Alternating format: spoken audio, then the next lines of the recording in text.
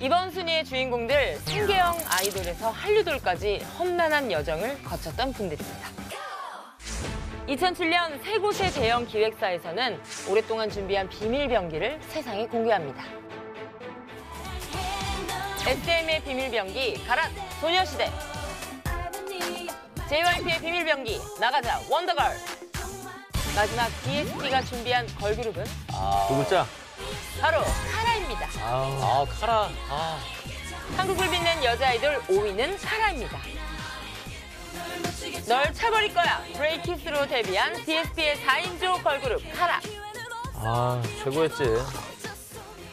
큰 반응 얻지 못하고 다른 컨셉 준비하게 되는데요. 1집 수록곡 맘에 들면 또 슬픈 결과. 어, 이 노래 좋았는데. 좋았는데, 이 노래? 어. 이어 Secret World는 우리만의 secret으로. Secret World는 진짜 모르겠다.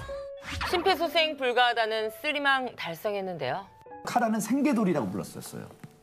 각 방송사를 뛰면서 고생 씨 많이 막. 하면서 음. 그렇죠. 멤버 교체와 함께 생계형 아이돌이라는 안쓰러운 별명까지 있었습니다.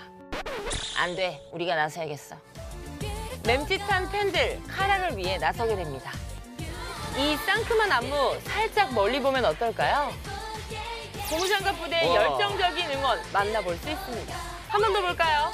아, 귀여워. 귀여워. 아, 근데 너무 좀 따뜻하다. 닭뼈슬 같기도 하고. 네, 노래하다 빵 터지게 하는 팬들의 눈물겨운 노력. 이 노력 덕분인지 카라의 인지도는 쭉쭉 오르게 됩니다. 그관심 아, 인기로 허니. 연결시킨 곡 바로 허니인데요. 카라에게 첫 1위의 기쁨 안긴 노래죠. 야, G를 눌렀어.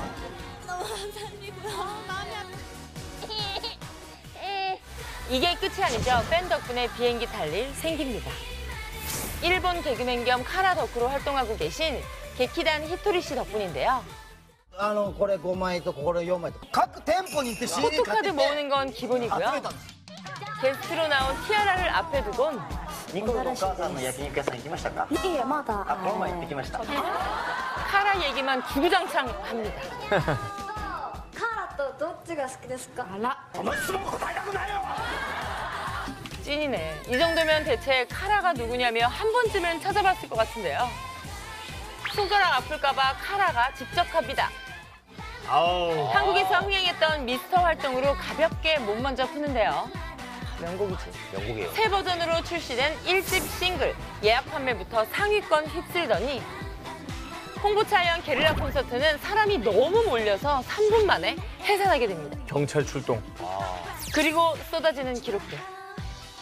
아시아 여자 그룹 최초로 오리콘 weekly 차트에 오르고요. 2011 일본 골든디스크 대상에서 신인상 The Best 3 New Artist 상까지 받게 됩니다. 와. 엑소와 트와이스가 공연했던 일본 대형 공연장 도쿄돔. 이 도쿄돔에서 공연한 최초의 케이팝 걸그룹은 바로 카라였습니다. 심지어 4만 5천 석이 5분 만에 매진되었다죠. Oh my God. 일본 공연을 갔는데 우리가 그냥 얘기하는 뭐 한류다 한류다가 아니라 그냥 카라예요. 그냥 카라밖에 없어. 그러니까 TV를 틀면 등장하는 광고 속 카라. 휴대폰이 울려도 카라 노래. 노래방을 가서 부르는 것도 카라 노래. 심지어 카라 피규어도 나왔다고 하는데요. 일본인이 좋아하는 한국 가수 1위 하려면 이 정도는 돼야 되겠죠. 팬들 덕에 생계형 아이돌에서 대형 한류 아이돌이 된 카라. 완전체로 팬들과 함께할 날 기다리고 있겠습니다. 한국을 빛낸 여자 아이돌 5위는 카라입니다. We are K-pop Mnet.